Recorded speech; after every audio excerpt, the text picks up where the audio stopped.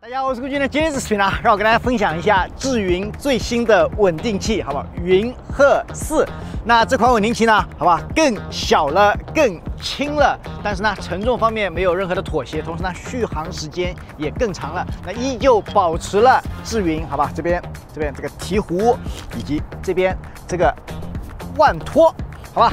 那这个视频就到这里了，大家想要了解的信息也就差不多了，好吧？那我们就下次再见了，拜拜拜拜拜拜拜拜。好，我知道你并没有把视频关掉，好吧？所以呢，接下来正式给大家介绍一下云鹤四的一些特点。那现在看到全程的画面呢，都是 Barry 使用这个云鹤四搭配我的索尼 A1 以及五十 G Master 所拍摄的，好吧？就是这个效果。那第一个想要说的，它改进了，就是显然的它更小、更轻，然后更便携了，好吧？所以拿在手里的时候，你会觉得压力更小，但是呢，它。所接受的这个这个承重呢，并没有任何的妥协。它不仅可以搭配我现在使用的这个索尼 A1，好吧，也可以搭配我之前在使用的尼康 Z8。那镜头方面。我使用了五十 f 一点二的这支 Z Z 卡口的镜头，好吧？你可能会想说，那二四七零 f 二点八行不行？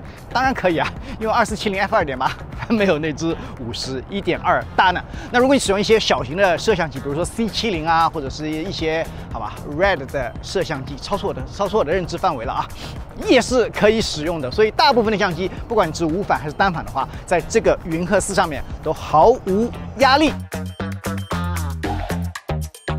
好，那第二个改进的地方呢，就是它这个重新设计过的提壶，好吧？我一直觉得提壶是智云比较一个比较不错的发明。那如果你需要拍摄一些低角度、低低低低低角度的时候呢？好吧，这个提壶其实真的能省力不少，但是现在看上去我好像没那么省力，但意思你是懂的，好吧？我们上上上上。那除了提壶以外呢，这个重新设计过的这个腕托也能让你在使用的时候降低一些你的负荷，所以 Barry 现在看上去很轻松，它只是有点出汗而已，单纯的热吧，我觉得应该是，还是我 NG 太多次了。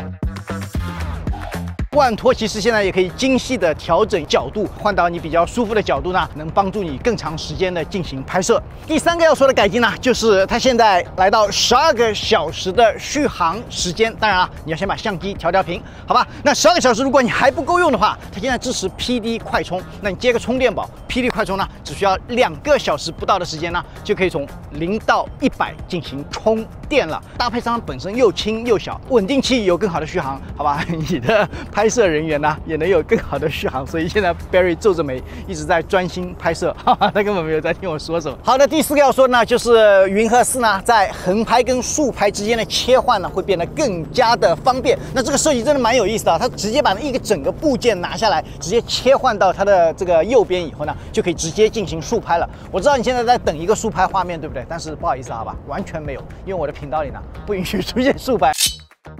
如果你有横拍跟竖拍之间切换的这个需求的话，真的蛮方便的，就是会节省你很多的时间，而且呢也少用一些配件，直接装上去，直接调频以后呢，就可以进行竖拍了，非常非常的好用，有一种二人转的感觉，二人转，二人转。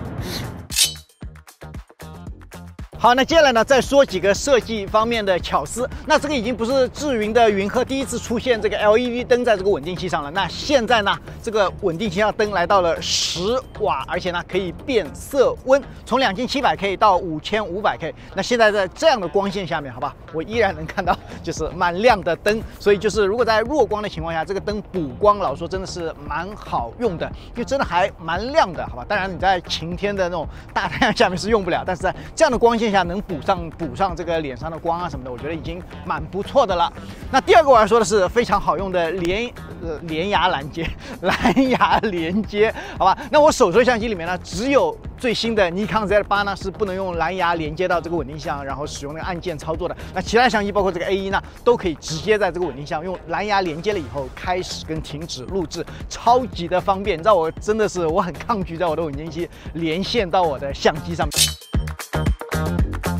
其他的方面呢，还有比如说这个显示屏，好吧，显示屏能显示的信息真的还蛮多的，触摸屏操控起来呢也比较的方便。那最后呢，就是它上面增加的这个快装板。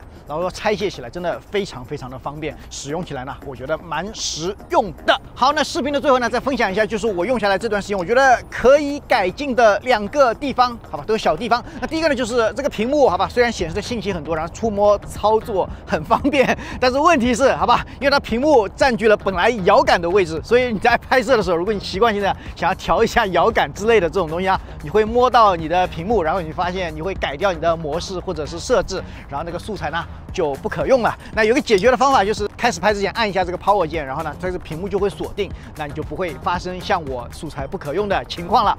那第二个呢，就是这个 LED 灯。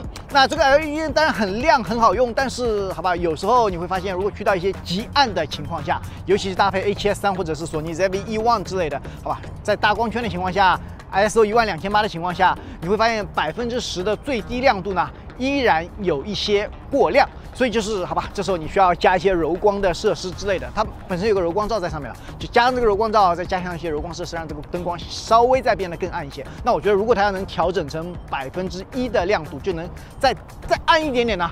可能使用起来更加方便一些，当然这个是超级极限的情况下了。但如果你有一些极度弱光的需求的话，好吧，这个百分之十的亮度，我觉得有时候会显得过亮一点点。